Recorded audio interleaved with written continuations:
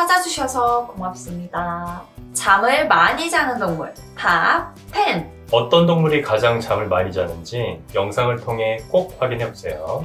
채널 고정 10위. 나무 두더지. 9위 호랑이 8위. 신생아. 7위 올빼미 원숭이 6위. 북미 주머니 쥐. 5위 비단뱀 4위. 왕 아르마딜로. 3위 갈색 박쥐 2위. 나무늘보. 1위 코알라 코알라의 수명이 대략 15년인 것을 감안한다면 12년 이상은 잠으로 보내는 겁니다.